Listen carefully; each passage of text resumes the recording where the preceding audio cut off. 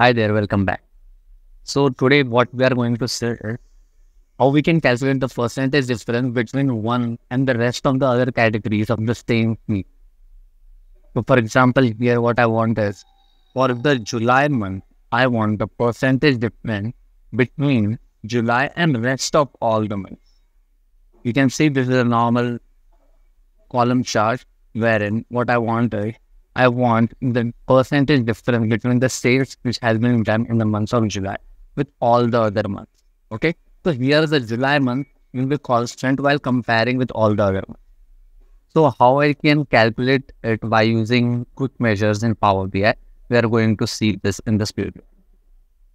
So uh, first of all, when we are using this feature, you need to uh, make sure that you are uh, ha- having the correct, proper visual visual for it. And also uh, keep in mind that the values which you are added are in correct uh, places. Okay. So here, what I will do now, I just want to create a quick method. Uh, so I just have to go to the y-axis, click on the down arrow, go to this new quick measure. So this will open a new scene for quick measure. So what is just this has been integrated with the Copilot feature, and this makes the calculations very simpler. Whatever calculation which you need to make in Power BI can now be in, uh, developed with uh, the help of the quick. So just like the AI feature which has been in- integrated here, which we will be using now. So here they are having the options average per category, variance per category, filters, difference from filtered value, percentage difference from filtered value. So we are going to select this. And here it is asking what should be the base value.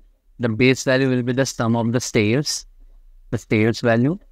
And for blank, it is asking us to select one from these two categories, putting blanks in the output, or it's read as null, read as zero in the calculation.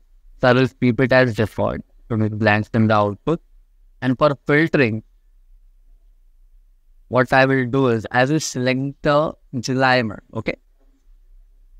So what I want, I want comparison based on the July month. So that's why I'm selecting July over here. I will click on add.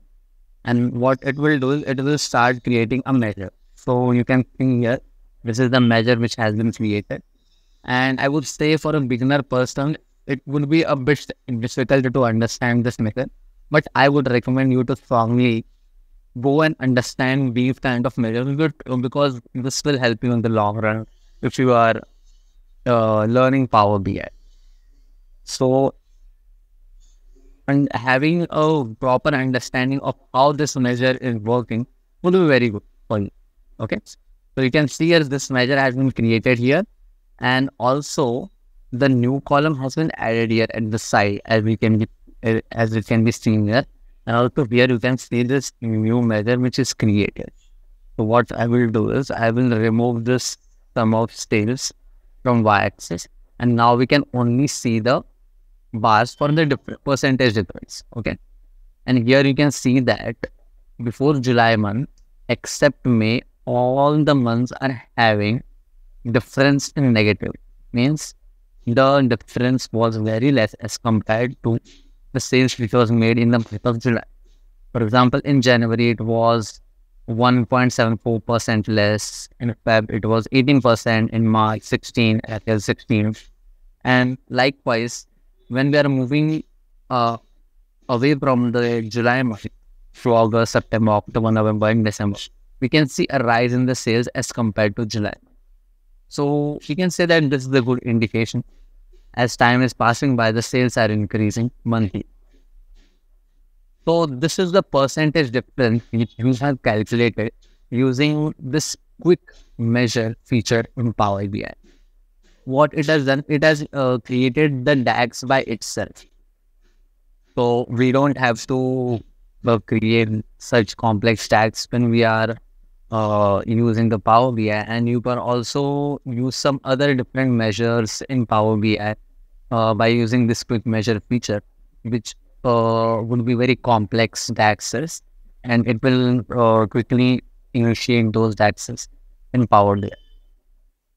But I would also recommend that do not depend completely on this quick measure feature as it is it has been integrated with Copilot. I would recommend you to also understand the basics of these DAXs which are created by using quick measure. So you will also uh, start getting familiar with DAX and how it works if you are in a beginner stage of learning Power Okay, so I hope you have understood how we can calculate the percentage difference between one and the other categories of the same. Thank you very much for watching.